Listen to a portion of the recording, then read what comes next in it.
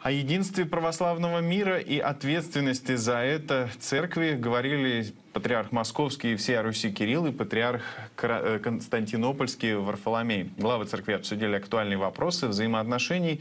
О чем именно шла речь, расскажет наш специальный корреспондент Анастасия Ефимова.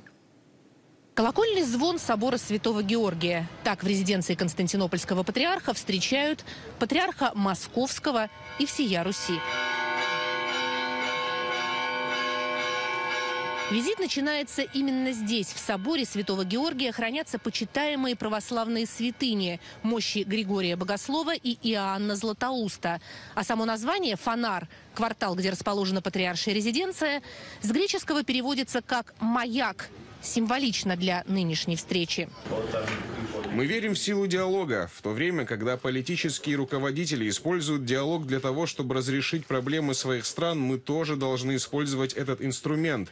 Тем более, что диалог – это путь, который нам указан самим Богом. Продолжение диалога и сохранение христианского единства – важнейшие итоги переговоров, которые, по словам предстоятеля Русской Православной Церкви, были по-настоящему братскими. Главы двух церквей беседовали напрямую впервые за два последних года.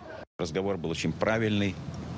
Разговор был, был двух, э, глав двух церквей, сознающих ответственность за состояние вселенского православия и за состояние душ человеческих. Хорошая встреча, очень хорошая была атмосфера. Э, мы обсудили все те проблемы, которые сегодня стоят на повестке дня. И надеюсь, что будем и дальше работать вместе для того, чтобы мир становился лучше. Говорили, конечно, и о вызовах, которые стремительно меняющийся мир ставит перед верующими.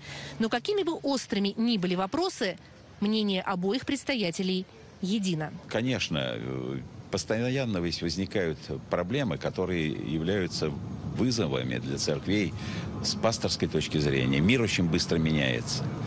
И э, ведь устройство православной церкви такое, что ни одна церковь не может принимать решений, которые бы э, противоречивали, противоречили бы позиции другой православной церкви. Поэтому мы просто запрограммированы на взаимодействие, на сотрудничество.